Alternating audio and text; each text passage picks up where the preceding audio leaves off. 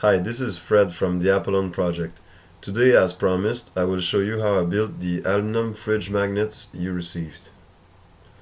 I will show you how I built the furnace and the molds and how I poured the metal. The casting process involves the introduction of molten metal into a mold cavity, where upon solidification, the metal takes the shape of the cavity. Casting can produce a variety of parts with complex shapes, such as engine blocks, transmission housings, pistons, and sculpture. Casted parts can be identified with their sandy finish and rounded edges. You can also see a parting line, which is the line between the top half and the bottom half of the mold. Aluminum, bronze, brass, steel, gold, and many other metals can be casted. Aluminum is the first metal you want to experiment with because it has a low melting temperature. It's easier to melt and simpler to cast. Overall, this project cost me $300, but I didn't have to pay for much safety equipment because I didn't use much. But looking back, it wasn't the brightest idea. Obviously, to melt aluminum, you need a heat source. Some options are electricity, propane, and charcoal. Electricity makes a clean job. Very small electric furnaces cost about $500. Propane is very popular among hobbyists. The main cost is the burner, which you'll pay $100 or $200 on eBay. I chose charcoal for simplicity and low cost.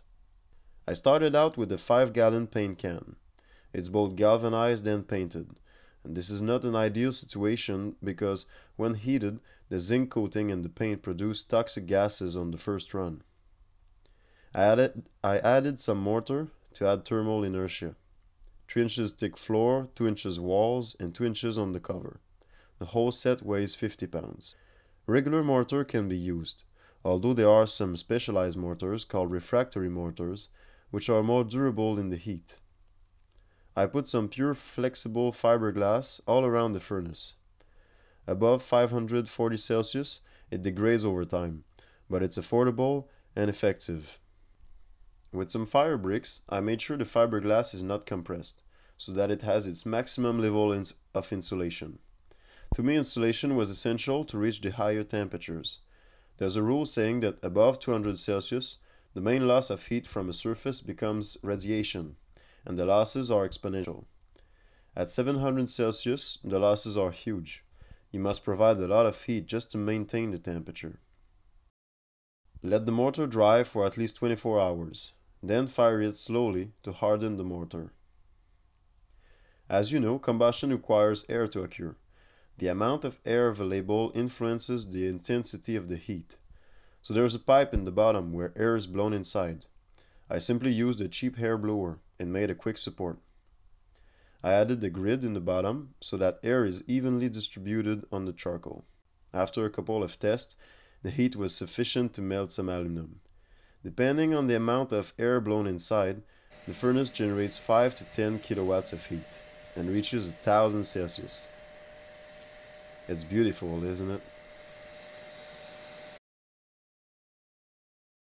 The crucible is the recipient which holds the liquid metal. When melting aluminum, steel crucible can be used, because steel melts at twice the temperature aluminum does. But don't use any metal cans. Their thin wall rusts quickly and you'll end up with a leak. And if the leak meets water, water is vaporized, pressurized, and you get a couple of risky exploding aluminum bubbles. Your other option is a refractory crucible. A refractory material is one that remains intact and solid at high temperatures for a very long time. There are many refractory materials and recipes. To melt aluminum, a 50-50 mix of fire clay and sand is alright. That's what I did. But refractory crucibles can also be bought on eBay for 50 or $100. Looking back, it's a wise option. It takes time and effort to build refractory crucibles, and you have no warranty they won't break. Homemade crucibles need to be heated before being used.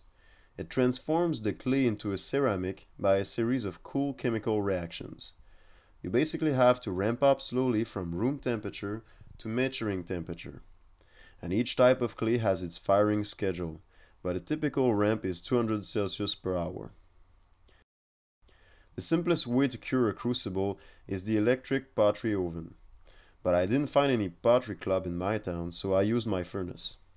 With a charcoal furnace, it's hard to ramp up the temperature precisely. I used the temperature color chart as a guideline. The principle is that every warm object emits light whose color is, rela is, uh, is related to its temperature. For example, a full cherry red color tells us that the local temperature of the material is 815 Celsius. When heating a crucible, you must always let it cool down in the furnace. Rapid cool down with a cracked crucible. To verify if you have completed the maturation process, scratch it with your nail. A ceramic material with no cracks will resonate nicely. Here's an example.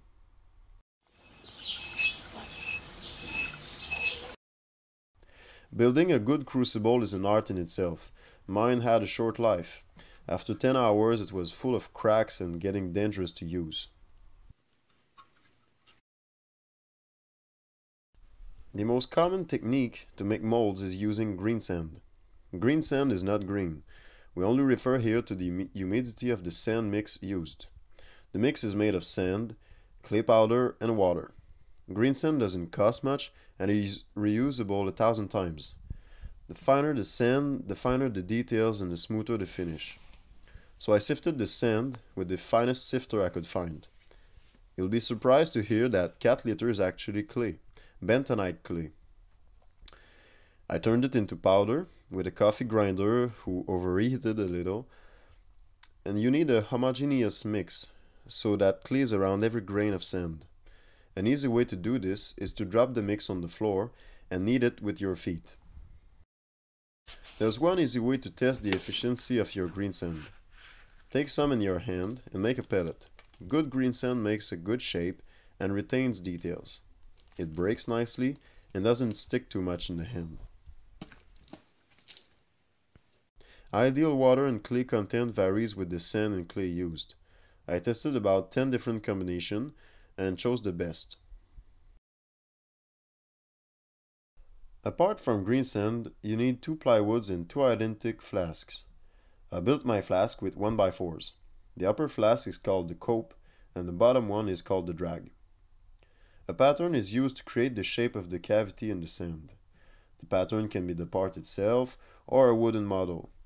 In my case, I built a model from a wood panel and thin wire. Avoid any negative angles. The sand gets trapped and it's impossible to remove the pattern without breaking the sand. You also need a wood model for the sprue and the runners. The sprue is the opening in the mold where you pour the liquid metal. The runners allow the liquid to circulate inside the cavities. Finally, powdered chalk is used for its hydrophobic properties. It repels water and thereby prevents green sand from sticking to the wooden parts. Molding steps. Drop the first plywood on the table. Place a first flask on it. Then center your pattern and runners. Sprinkle some chalk. Add green sand. Ram as much as you can. You can't compact too much. Scrape the top. Use the second plywood to flip over. Place the second flask on top of the first. Sprinkle some chalk. Position the sprue, add the sand, ram again, scrape, separate the two flasks. Remove the sprue, the pattern and the runners with precaution. Correct any sand default with the tip of your finger. Pierce the vents in the cope, which allow air to escape from the mold cavities as the, aluminum, as the aluminum flows in. Close the flask back together with the cope on top and you're ready to pour. Heat progressively the furnace with the crucible inside. This takes almost an hour. Pack loosely the crucible with small pieces of aluminum scrap.